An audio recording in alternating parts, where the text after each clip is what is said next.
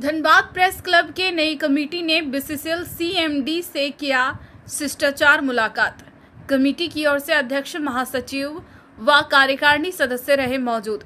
CMD ने दिया पत्रकारों को हर संभव मदद करने का आश्वासन।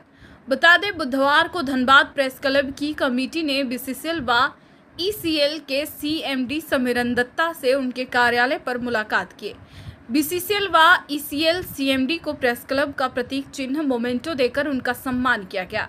इस दौरान प्रेस क्लब के अध्यक्ष संजीव कुमार झा, महासचिव अजय प्रसाद, सचिव संजय चौरसिया उर्फ़ जेठालाल, सचिव चंदन पाल के साथ कार्यकारिणी सदस्य विपिन कुमार रजक मौजूद रहे। इस दौरान बीसीसीएल व ईसीएल के सीएमडी समीरन दत्ता ने प्रेस क्लब के नए कमेटी को सम्मान के लिए धन्यवाद देते हुए धनबाद प्रेस क्लब के सभी पदाधिकारियों एवं सदस्यों को शुभकामनाएँ दी।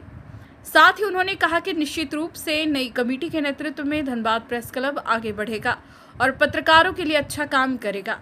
श्री दत्ता ने कहा कि बीसीसीएल प्रबंधन के तरफ़ से हर संभव मदद धनबाद प्रेस क्लब को किया जाएगा।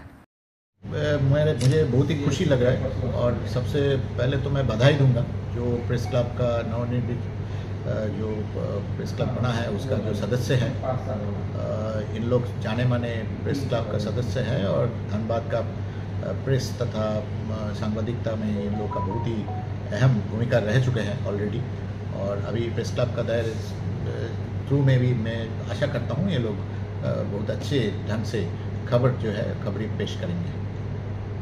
मिले क्या कुछ बातें हुई पत्रकारों के हित धनबाद प्रेस क्लब की टीम आई थी इनसे आज शिष्टाचार मुलाकात के लिए।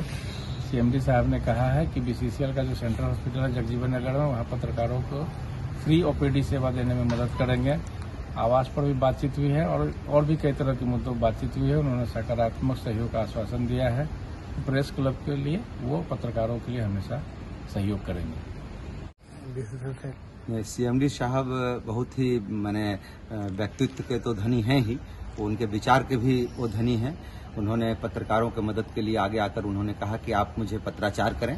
मैं, हमारे सचिव चंदन जी और संजीव झा, जी ने भी यह मुद्दा उठाया था कि पत्रकारों का जो है सी एच डी में, सेंट्रल हॉस्पिटल में जो है विशेष सुविधा के तहत जो है उनको फ्री ऑफ़ कॉस्ट उपचार की सुविधा हो तो उन्होंने हामी भरी है। इसके अलावा हमने जो है उन, उनके सामने जो जिन पत्रकार के पास घर नहीं है उनके लिए हमने घर की बात कही तो उन्होंने कहा कि चलिए ठीक है हम भूली या कहीं और भी जगह इसकी व्यवस्था देखते हैं। और इसके अलावा सीएसआर फंड के थ्रू भी जो है पत्रकारों को मदद करने की बात उन्होंने कही है तो हम लोग निश्चित रूप से इनसे पत्राचार करेंगे।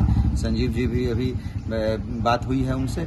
तो और हम लोग बेहतर तरीके से बीसीसीएल हम लोग को मदद करके इसका उन्होंने आश्वासन दिया है।